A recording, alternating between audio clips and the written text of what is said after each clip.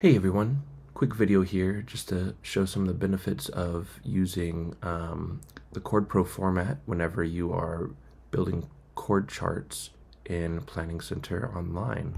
Uh, you see I've got these chords in here uh, within embedded into my lyrics using square brackets.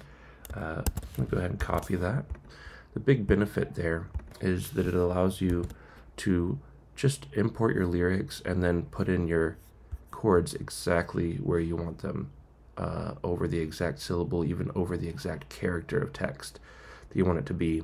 And now, no matter if I copy or paste or uh, cut and move this around, um, it's still going to have that chord follow wherever I need that to go.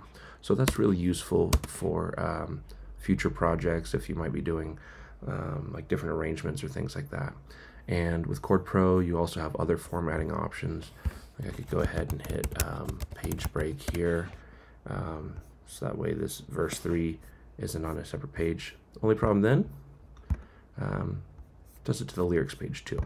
So I'm just going to go ahead and take this and do a couple of line breaks there. How about one more?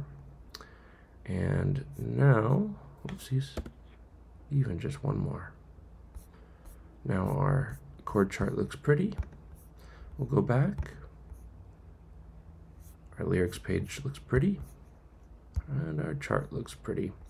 So yeah, it's really helpful to get to know ChordPro a little bit. Really makes uh, editing charts a breeze and um, helps the musicians too to have everything exactly where they need it to be. So I highly encourage you, if you haven't already, delve into it. Get your hands dirty and discover the beautiful world of formatting in ChordPro.